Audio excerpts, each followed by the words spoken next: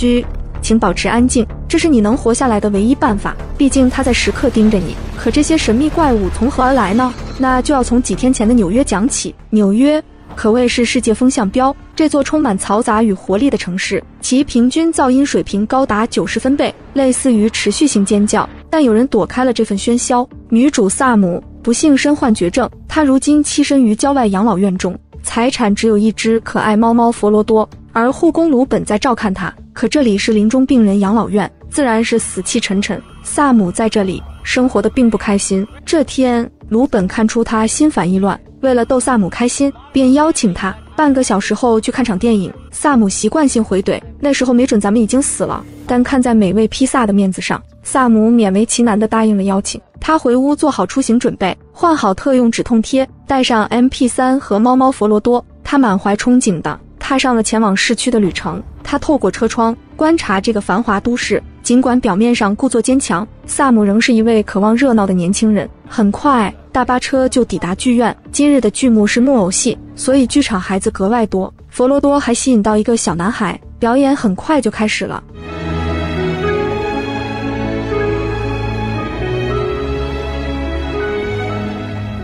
可这充满生机和希望的表演，深深刺伤了生命进入倒计时的萨姆。他抱着佛罗多从后门狼狈离开，可门后又是另一种繁华。这里是纽约唐人街。萨姆没有到处乱跑，他来到一家华人小商店，门外警车呼啸而至。萨姆没有放在心上，毕竟自由美利坚，枪战每一天。可鲁本接到了一个紧急电话，告知他城市发生变故，他们必须立刻返回疗养院。鲁本委婉表示：“我们改天再吃披萨。”但萨姆深知自己没有多少个改日，可能下一分钟、下一秒自己就会和世界说再见。但鲁本态度很坚决，他还要回去照顾养老院的老人。最后，萨姆做出让步，答应晚上叫披萨外卖，然后不情不愿地走上大巴车。街道上警笛声此起彼伏，萨姆靠在车窗上，眼睛呆呆地看向窗外。突然，大巴停了下来，病友们都挤在车后厢，纷纷抬头看向天空。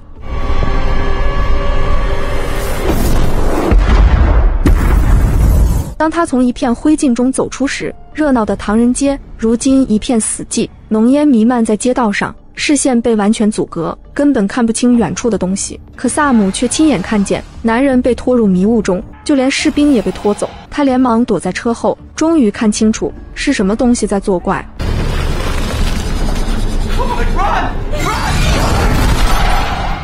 剧烈的爆炸冲击波将萨姆击晕过去。等他在剧场醒来时，立刻被人紧紧捂住嘴巴。那人示意萨姆保持安静，然后才慢慢松开手。幸存者都躲在木偶剧场里，所有人都一声不发，气氛格外压抑，令人窒息。就在这时，萨姆发现了角落里的鲁本，两人无声的拥抱，感恩彼此的生还。鲁本将佛罗多归还给萨姆。此时，空中划过一架飞机，巨大的螺旋桨声从头顶传来。紧接着，引来怪物落到剧院顶棚。佛罗多受惊，挣脱萨姆的怀抱。他和鲁本急忙追向后门，地上散落着各种杂物，而怪物就在剧院门外走动。两人不敢再向前一步，生怕发出丁点声响，招来怪物攻击。他们紧张地盯着佛罗多，意外还是发生了。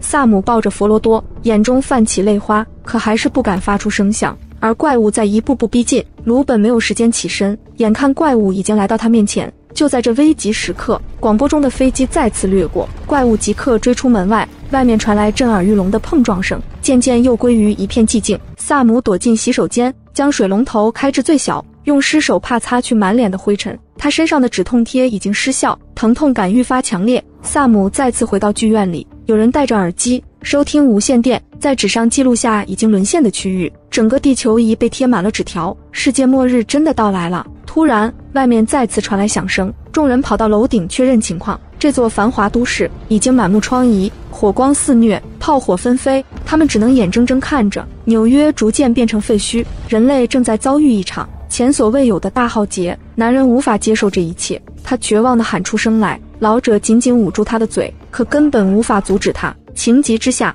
老人用劲过猛，不小心杀死了男人。老人只得轻声说着对不起。如若不然，大家都要死。萨姆两人回到房间内，用最原始的方式交流。他在纸上写着要去哈林区吃披萨，这是他临死前最大的愿望了。鲁本还是拒绝了。但剧院内灯光突然熄灭，四周陷入一片漆黑。紧接着，应急发电机启动，发出了巨大响声。鲁本立刻冲出去，紧急关闭发电机。可没等萨姆缓过神来，鲁本衣物就被机器撕开，下一秒他被那怪物残忍掳走。萨姆紧紧捂住嘴巴，生怕发出一丝一毫的声响。就算好友遇害，他也不能痛哭一场。萨姆望着本子上的字，终于下定了决心，他要去哈林区买块披萨。萨姆小心翼翼地走过满是杂物的地面，抱着猫咪走出了木偶剧院。外面已经变成了废墟，街道上空无一人。他再次来到那家商店，拿了一些生活必需品，随后牵着佛罗多踏上旅程。为了不发出声音，他用毛衣包裹着罐头，然后轻轻打开，喂给佛罗多。萨姆发现。有两个小孩躲在喷泉里边，立刻将身上的食物分给他们。这时，几架飞机掠过天际，指引民众前往南街码头乘船撤离。因为袭击者无法游泳，他们可以在海上找到避难所。萨姆示意孩子们保持安静，跟在自己后边。他们赶紧躲在楼梯道里。飞机带来的巨大噪音再次让怪物们进入捕食状态，四周的嘈杂声渐渐消散了。萨姆想看看情况。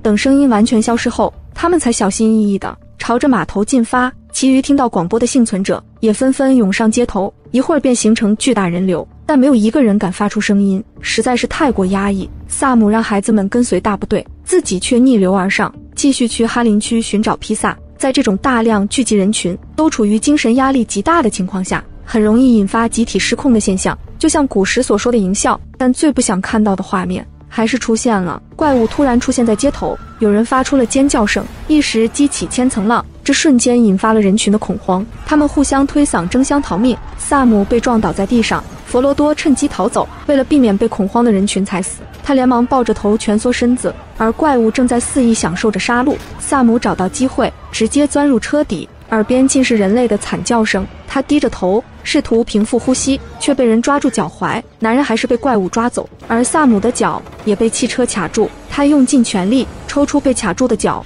钻出了车底，一瘸一拐的在大街上逃命，最后躲进一条堆满垃圾的小巷。而逃走的佛罗多。竟在大街上追捕老鼠，直到老鼠逃入下水道，佛罗多便跑去积水潭喝水，水中却意外钻出一个西装男，他大口大口呼吸着氧气。佛罗多仔细打量着这位男士，看起来猫主子挺喜欢这只两脚兽，还把他带到萨姆身边。萨姆示意他向南走，但西装男却跟在他身后。尽管萨姆多次驱赶，男人还是不肯离开。天空下起了雨，隐隐有雷声传来。萨姆联想起那两个躲在喷泉的小孩。他们还平安度过了一夜，所以萨姆猜测怪物对水有些畏惧。那么下雨天就可以小声交流。于是他小声询问男人姓名，为何不前往南街码头？他自称名叫埃里克。萨姆对他说，码头有船可以撤离到安全地方，他没有必要跟着自己。埃里克犹豫再三，还是不想自己单独行动。萨姆无奈之下。将埃里克带回他曾居住的公寓，屋外电闪雷鸣，刚好为他们破门做了掩护。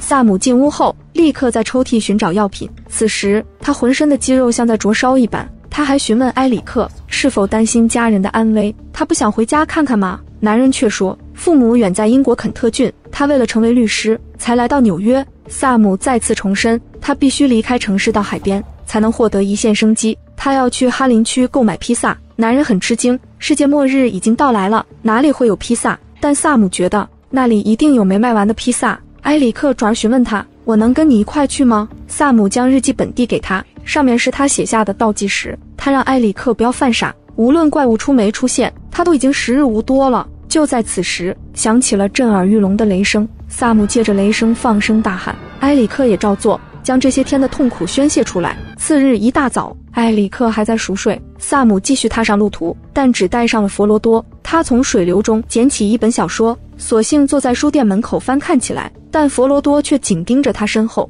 萨姆心中一凉，以为怪物在自己背后，却是埃里克追上来了。他将日记本还给萨姆，表示自己跟定他了。萨姆真拿他没办法。但在收拾东西时碰倒了旁边的书架，两人立刻拔腿跑向一栋大楼，可旋转门被杂物卡住。埃里克用尽全力，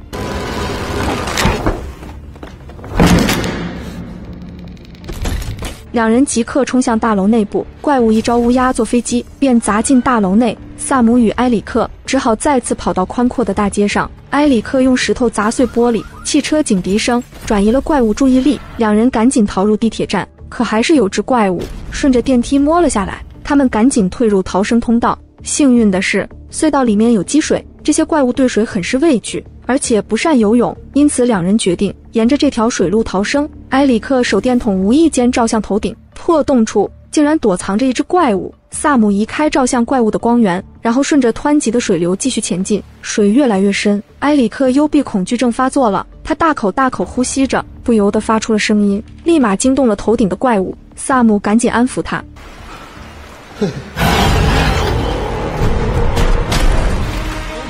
他们立刻往深处游去，顶棚怪物还在不断接近两人。千钧一发之际，两人迅速钻进水中，而跟着他们进入水中的怪物很快就被淹死。他们游到水路尽头，顺着洞穴爬了出去，竟然来到一座教堂。先前激烈的逃命之旅耗尽了萨姆为数不多的体力，他躺在椅子上气喘吁吁。埃里克询问他需要什么药品，然后带着清单孤身来到外面。他穿过废墟，来到一家药店。埃里克借助手电对着清单，在货架上仔细寻找。突然传来一阵响动，埃里克被吓了一激灵，结果却是猫咪佛罗多。好在是虚惊一场。他找到所有药品后，正要带着佛罗多回到萨姆身边，猫咪却不知被什么气味吸引住，径直钻入一个狭窄的铁架中。埃里克倍感无奈，却只能跟着钻进铁架，因为他看得出来，猫咪几乎是萨姆的命根子。他来到宽阔地后。发现佛罗多在舔食不明物体，埃里克正要抓住他，不料有怪物出现在这里。埃里克即刻躲在架子后，他看着佛罗多爬上高处，自己也小心翼翼爬了上去。他再次打量四周，只见地上堆满了许多奇异物体，好似是怪物的秘密食堂。那只怪物掰开一个球状物，发出了奇异呼叫声，其余怪物们闻声而来，共同享受这顿盛宴。埃里克试图悄无声息地从铁架上离开。不想怪物出现在男人脸上，对着他张开了大嘴。埃里克屏住呼吸，一动不动。怪物没有发现异常，便离开了铁架。埃里克紧紧抱住佛罗多，眼睛里已满是泪水。他平复心情后，就回到了萨姆身边，为他贴上了止痛贴。萨姆知道这一趟肯定非常不易，他被男人的真诚彻底打动，对他敞开了心扉。父亲钢琴弹得很出色，小时候自己常去俱乐部看他演奏。每次演出结束后，父亲都会带他去吃披萨。不过父亲早已去世，马上他也要死了。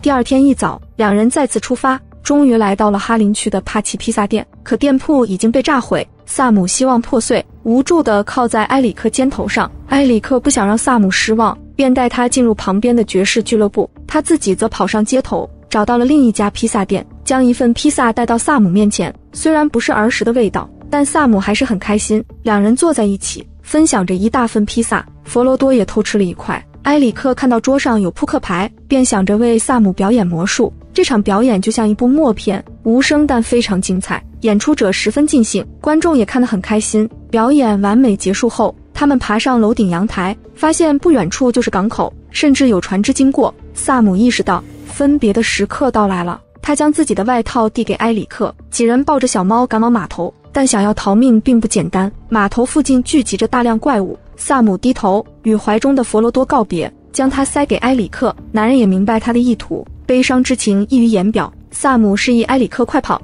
然后拿起铁棍，不断触发汽车警报，噪音瞬间就将怪物吸引过去。码头也变得十分混乱。船上的人见状，意识到岸上有幸存者，马上让船停下。埃里克抱着猫咪，火速冲向码头，怪物们紧跟在身后，追上了大桥。危急关头，埃里克纵身一跃，躲进水中，怪物们无法进一步追击。萨姆看到埃里克顺利逃生，露出了欣慰的笑容。埃里克和佛罗多成功登上轮船，男人从口袋中摸出一张纸条，是萨姆让他照顾好佛罗多，感谢他为自己做的一切，最后让他仔细聆听。而萨姆则回到爵士俱乐部，抚摸着父亲照片之后，他提着音响走上街头，将歌声带给了纽约。影片到此结束。本片没有着重描写外星人如何入侵地球，或者怪物对民众的血腥杀戮，而是在细细描绘人类情感。当世界末日降临时，时日无多的女主只想再次重温与父亲的美好时光，于是，一猫一人逆着人流。踏上这场死亡之旅，直到遇上男主埃里克，在他的帮助下，女主完成了遗愿，而他也将生的希望留给了埃里克。最后，在街头上响起的歌声，代表萨姆，代表埃里克，代表全人类。面对浩劫或者灾难时，永远不会屈服。人类命运共同体将战胜一切。本期视频内容到这里就结束了，你们的点赞、评论和关注是对我们最好的鼓励，感谢大家的观看，我们下期再见。